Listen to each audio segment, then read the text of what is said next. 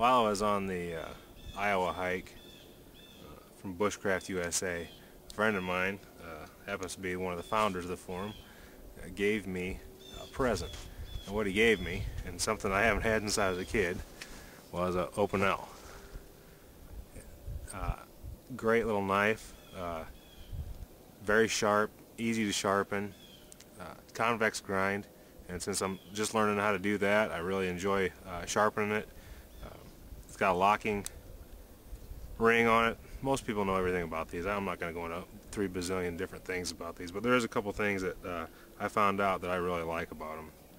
Being carbon steel, and uh, being I don't uh, always have something to strike with, uh, this will work real well because you can keep the blade closed and you can strike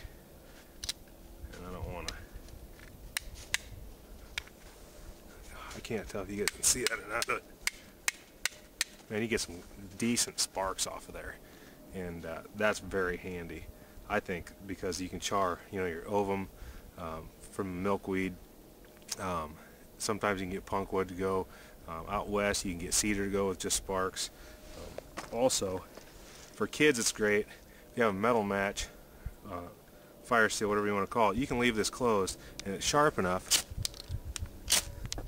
that you can get a real nice shower of sparks without even opening it. You can do it pretty much anywhere on the blade. So with that said, great little knife, a couple different firecraft skills you can do with it. Um, I really like mine and I'm going to use it to start this fire right over here. So anyway,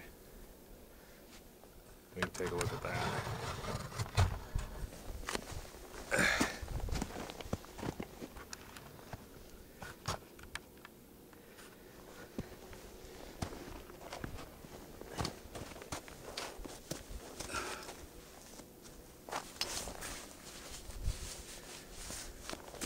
Go Vaseline and cotton balls.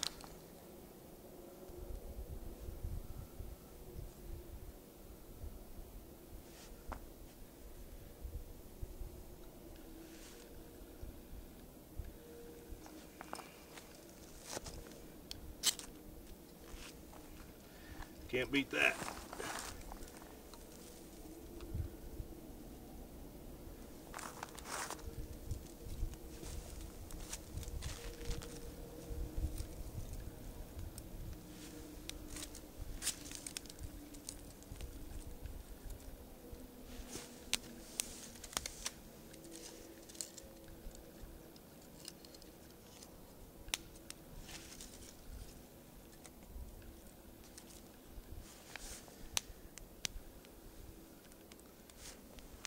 We go.